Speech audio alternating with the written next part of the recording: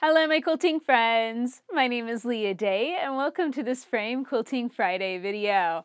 I'm getting a lot of questions about how I use the quilt clips on my Grace Qnique machine when I get to the end of the quilt. So basically, I have the backing fabric here pinned to my leader, and then I have my batting draped over. Don't pin that to anything. And then I don't pin my quilt top to the last leader down here on the bottom. Uh, instead, throughout the quilt, I have used these quilt clips to just simply uh, lock it in place along the back bar.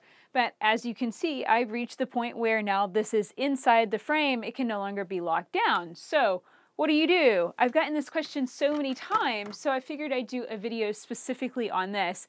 And I'm continuing with the same design that I was using uh, in the last video where I shared some, uh, just some gentle curving echo ditching using the mini slide ruler. So what I'm going to do is show you basically how I quilt to the very edge of the quilt very carefully, kind of spreading and smoothing it out as I go so that way I can quilt right to the edges. So let's get started.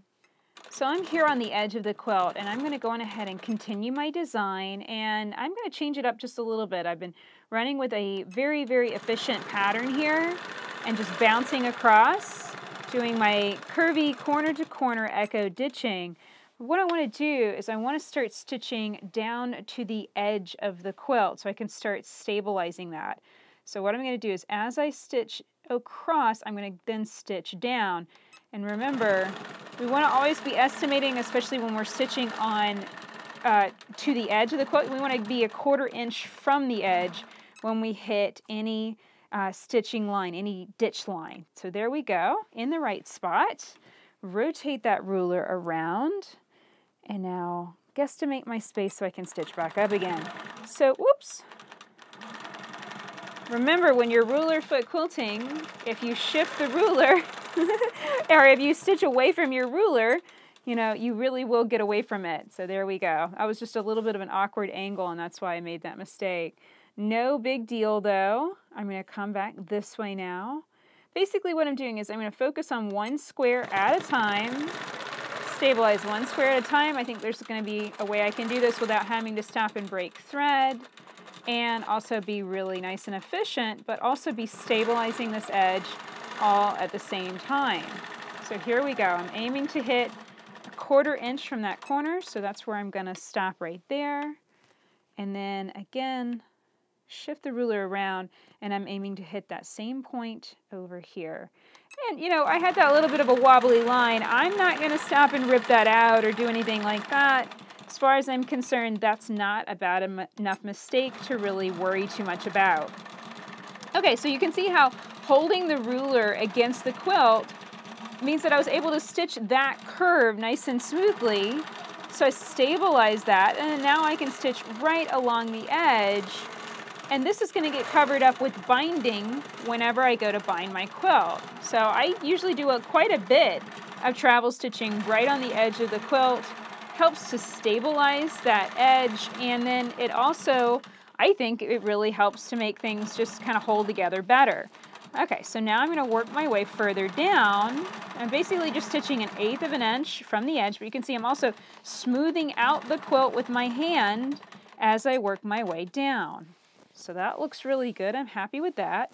So now I'm going to plan my path. I think I'm going to bounce up and then over and then in and then back down. And that's going to be pretty much my path the entire way through this quilt from here on out. So let's see if this is going to work okay. Actually, I want to go this way. First off, I need to get my foot so it's a quarter inch so that the edge of the foot is exactly on the edge of the quilt. That means that the needle is a quarter inch inside. So that's exactly where I want to start.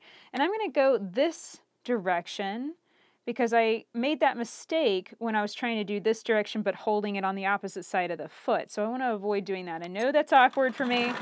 So if once you experience something and you're like, oh, that's awkward, that's not to work, trying to avoid doing that again. so that way you don't make the same mistake twice. All right, here we go. So I'm in the right spot. I'm estimating my space over here, going corner to corner here. And then now I'll flip the ruler around. Remember with the mini slide ruler, we've got the same curve on both sides. So you can always just rotate it around. It makes it super convenient.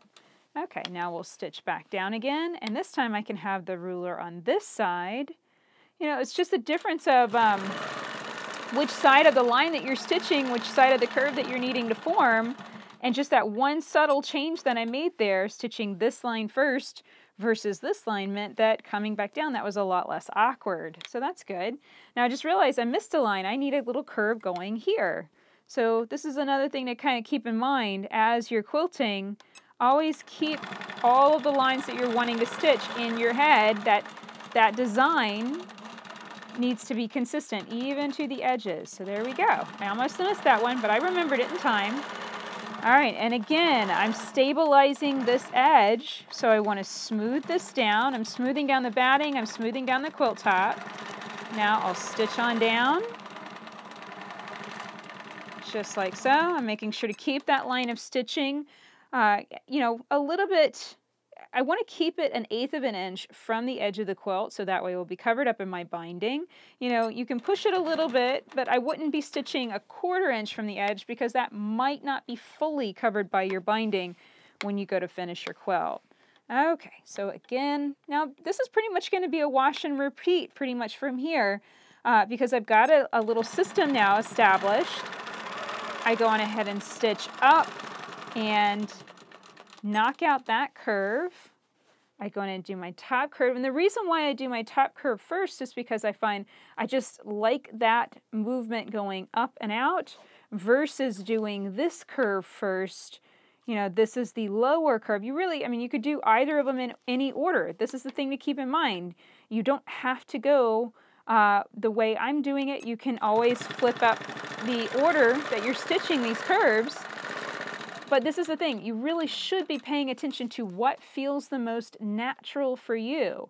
Because I'm not kidding, having the ruler positioned and pushing the machine from one from left to right will feel different from having the ruler, you know, positioned like this with the curve going this way and pulling the ruler down. It just feels different. The alternative is to hold the ruler like that, and that feels awkward to me. So it's definitely something to be thinking about. This is a little nuancy kind of thing, but you guys know I love nuances because that's really where it's at. You know, the devil's in the details. This is where it's at when it comes to really feeling comfortable with your machine, with the ruler in your hand, with the design that you're stitching. You got to pay attention to every little thing and figure out what feels best for you and then make note of it so that way you can repeat that over and over again as you quilt your quilt. So there we go, I got that last little curve. And again, it's not a big deal to do a little bit of extra stitching on that edge. That's a good thing, helps to stabilize the quilt.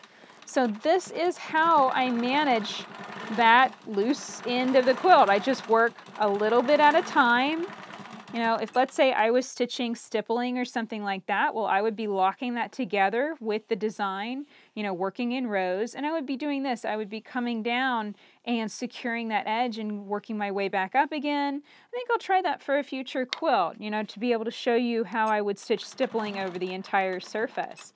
But that is how I work all the way to an edge of a quilt, especially when I've used quilt clips. So that's it for this video. I hope you learned a lot about quilting right to the edges of your quilt and you're going to get on your long arm and give it a try. You know, there's lots of different methods here. You could pen, you could run along a basting line across the bottom of your quilt. Really, it's entirely up to you. Uh, you know, I just kind of feel my way through it. It really just depends on what I'm feeling like on that particular quilt. Uh, so this is not something that I'm super consistent with, I'll be honest. I kind of just go with whatever I'm feeling on any particular day, and that's okay. You know, it's okay to just be making it up as you go along. Sometimes that's just the way it works best. So I hope you enjoyed this video. Come and check out the mini slide quilting ruler if you'd like to pick that up to use on your long arm at leahday.com slash mini slide. And of course, you can find lots more Frame Quilting Friday videos at leahday.com slash frame. Until next time, let's go quilt.